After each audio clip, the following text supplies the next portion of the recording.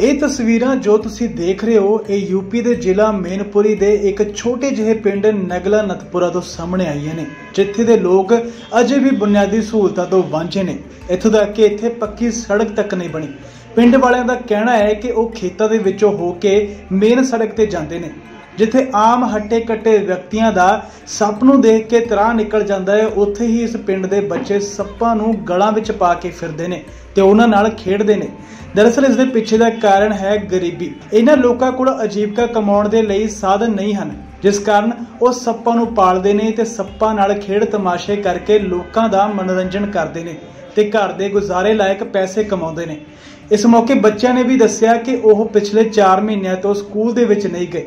ਜਿਸ ਕਰਕੇ ਹੁਣ ਉਹ ਵੀ ਸੱਪਾਂ ਦਾ ਕਰਤੱਵ ਦਿਖਾਉਂਦੇ ਨੇ ਤੁਸੀਂ ਵੀ ਦੇਖੋ ਇਹ ਤਸਵੀਰਾਂ क्या दिक्कत आ रही है यहाँ पे आप लोगों को जीवन यापन करने में सबसे ज़्यादा ही समस्या तो रास्ते की है मेन समस्या तो वैसे छोटी मोटी समस्याएं तो सब सॉल्व हो जाती हैं लेकिन रास्ता नहीं है आपके गांव के लिए रास्ता कोई रास्ता कब से नहीं फंसा कैसे जाते हैं आप लोग अरे कुछ पूछो ही मत बहुत बड़ी समस्या है कैसे जाते हैं खेतों में होके जाते हैं बरसात पानी में घुस के सब चारों तरफ गड्ढे हैं पानी भरा हुआ है bureau report the summer news ਇਹ ਤਸਵੀਰਾਂ ਜੋ ਤੁਸੀਂ ਦੇਖ ਰਹੇ ਹੋ, ਇਹ ਯੂਪੀ ਦੇ ਜ਼ਿਲ੍ਹਾ ਮੇਨਪੁਰੀ ਦੇ ਇੱਕ ਛੋਟੇ ਜਿਹੇ ਪਿੰਡ ਨਗਲਾ ਨਤਪੁਰਾ ਤੋਂ ਸਾਹਮਣੇ ਆਈਆਂ ਨੇ, ਜਿੱਥੇ ਦੇ ਲੋਕ ਅਜੇ ਵੀ ਬੁਨਿਆਦੀ ਸਹੂਲਤਾਂ ਤੋਂ ਵਾਂਝੇ ਨੇ।